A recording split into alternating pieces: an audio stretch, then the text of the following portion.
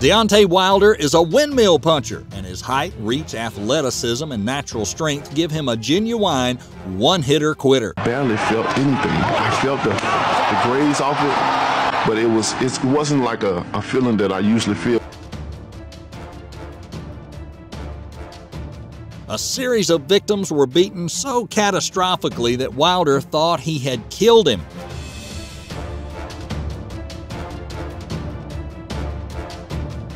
So, how fierce is Wilder? Where does the power come from?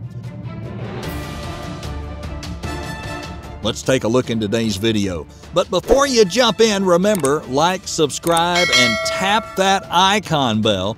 That way you don't miss out on any updates from Boxing Insane.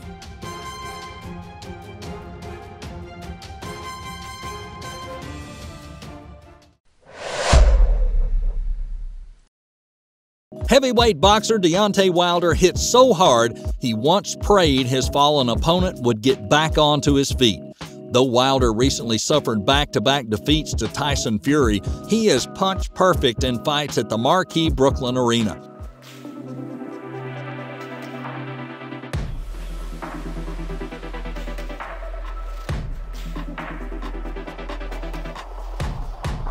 Deontay Wilder returned Saturday to the Barclays Center to fight Robert Helenius in a heavyweight boxing spectacle.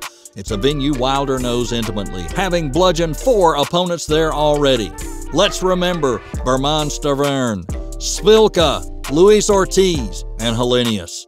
But there's one Barclays Center knockout Wilder continues to think about because it left him thinking he'd kill the opponent. Artur Szpilka in 2016. What Washington wants the pace and the timing. Oh, big right hand, and down goes. Och, teraz dopiero wyprowadzi prawy. He described the scariest thing of all was seeing a guy with all good intentions, good hype for the fight, who wanted to serve his country, react to the knockout shot in the way he did. It's not the only moment Wilder's been concerned about an opponent after he's separated them from their senses.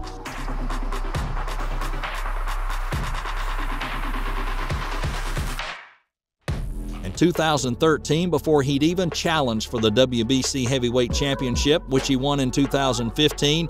He blasted Sergey Liakhovich so violently that he celebrated raucously. Moments after celebrating, though, he said he paused as it dawned on him that Liakhovich may have been in a bad way and needed longer to recover.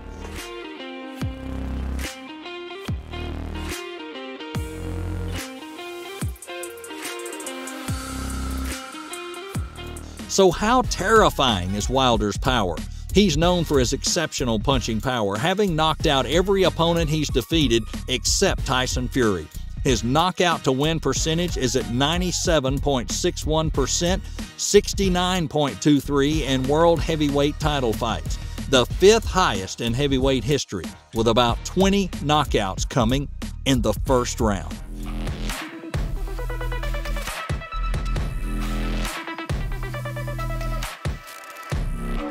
He went on to talk about the two sides of his personality. There's Deontay, the human he revealed, and then there's the bronze bomber, the boxer.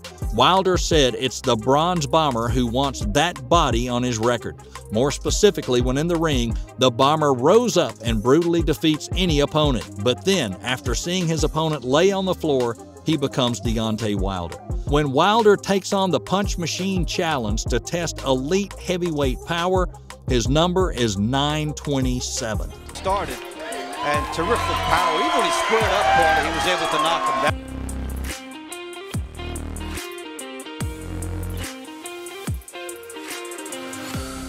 Wilder said to be too wild and instinctive. Is that really true? He is a hard puncher, but he's a wild hard puncher, wild by name and even wilder by nature. Here we see him in action against King Kong Ortiz. He often went with these power punches. However, Wilder pretty much breaks all the conventional rules for boxing.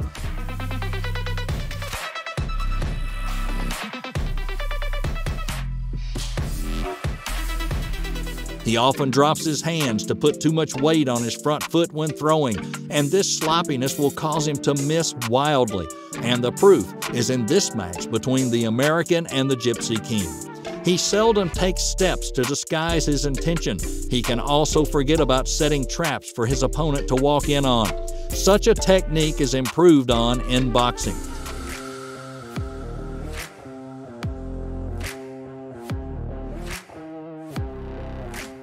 That's also one of the reasons he's called wild.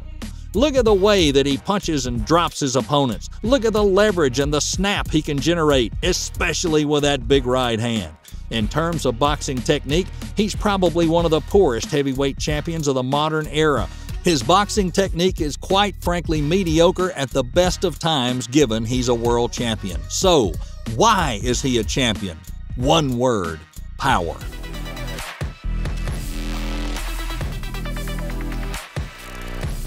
How did he get that power?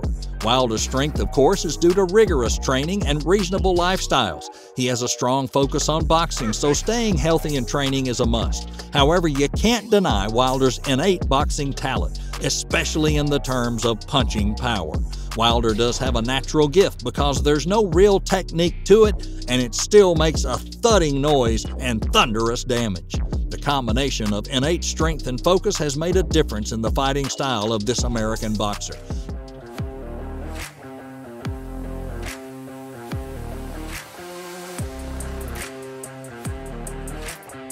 His power reminds us of many legends in the history of heavyweight boxing. Just by looking at tapes of him knocking out guys, one can reasonably conclude that Deontay hits just as hard as any other big punching historical heavyweight and it wouldn't surprise if he hits harder than someone like George Foreman, who hit hard, but he was more of a clever, beat you down puncher than a one shot, put your lights out puncher.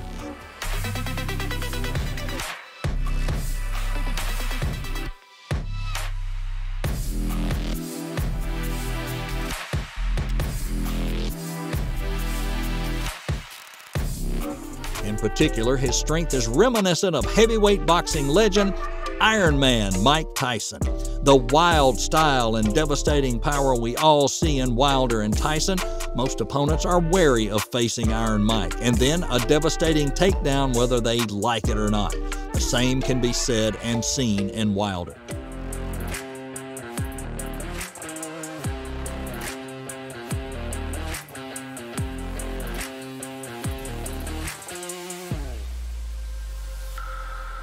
In fact, however, Tyson hit much harder. He was a far superior boxer. He fought much better opposition and had every advantage other than height, which Tyson's style was specifically designed to oppose in this matchup. At heavyweight, one punch can finish it, but Tyson has every tool and every advantage, and Wilder has only power. But at least Wilder makes good use of his stance and terrifies almost anyone who faces him.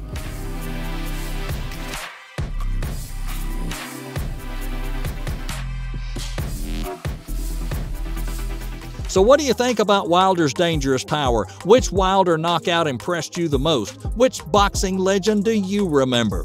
Put your comments down below and let us know. And don't forget, like, subscribe, tap that bell icon. You don't want to miss any videos from Boxing Insane. Stay safe, and we'll see you next time. To the American dream, Dusty Rhodes. Molina believes in the